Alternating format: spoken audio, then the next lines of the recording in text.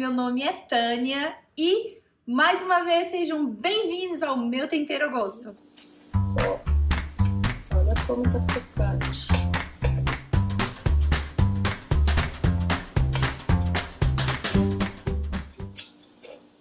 Hoje eu vou ensinar vocês a prepararem uma fritada super rápida e bem gostosa com tudo quanto é restinho que tiver na sua geladeira, Aqui eu tenho batatas que eu já cortei ela em lâminas, tá? Eu já deixei ela na água.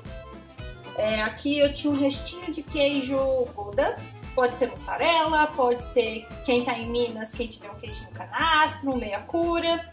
Fica à vontade com qualquer queijo, tá bom? Aqui, ó, gente, essa aqui é a cenoura tá? Vou mostrar uma curiosidade para vocês aqui do Canadá.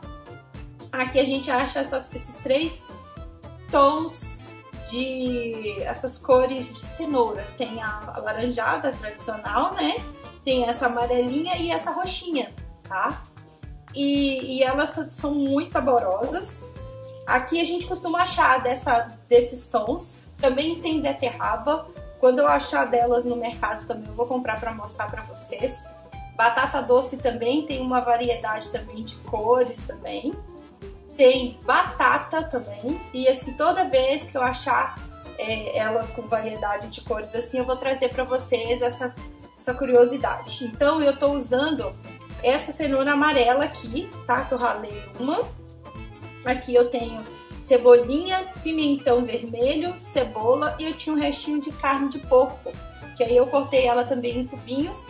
Tem ovos, pimenta, o sal temperado, que eu já ensinei aqui já no canal. Tem o creme de leite. Em vez do creme de leite, vocês podem usar o leite também, normal, ok? Vamos pro preparo? Pronto, gente, ó. Já escorri a água da, da batata. Vou, deixa eu só dar mais uma diquinha, gente essa fritada eu, tô, eu preferi fazer com a batata em rodela, mas normalmente eles fazem com ela raladinha, assim, igual eu, rala, eu ralei a cenoura, tá? É, mas é opcional, viu? Aí eu coloquei, a, já tirei, escolhi a água da batata, vou colocar a cenoura. E vou colocar tudo isso aqui, ó, cebola, a carne, o pimentão e a cebolinha picadinha. Vou colocar o queijo. Vamos colocar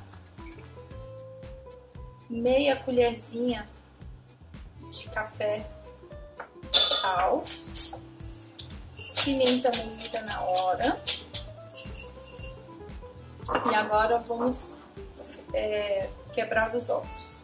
E aí, o que, que a gente vai fazer? Eu vou, pegar, vou misturar aqui primeiro, para não correr o risco de ficar algum lugar do ovo sem, sem misturar, né? E aí, ó, aqui eu vou colocar um pouquinho de creme de leite.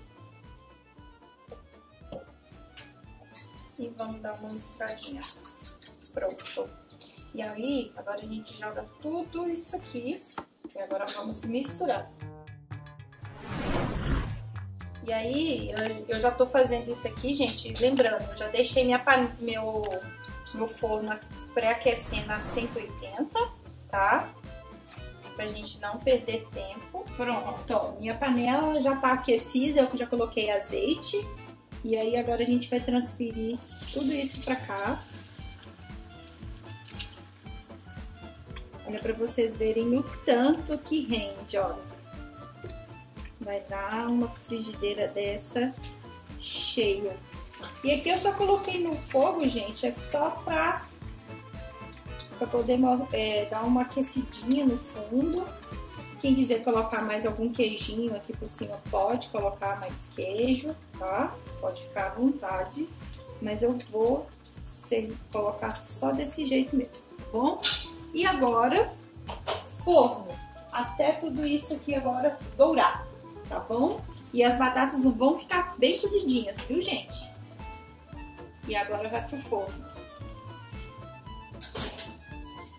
Pronto, gente. Olha só que coisa mais linda. Aproveitei e preparei uma saladinha de alface, piquei tomate e pepino. E agora vamos temperar essa saladinha com um pouquinho de sal, azeite. Prontinho a nossa salada. E agora, vamos partir. Ó, olha como tá crocante. Olha isso, gente. Olha. Que beleza. E é isso, gente. Essa foi minha receitinha de hoje. Espero que vocês tenham gostado. E bom apetite! E até a próxima. Um super beijo. Tchau, tchau!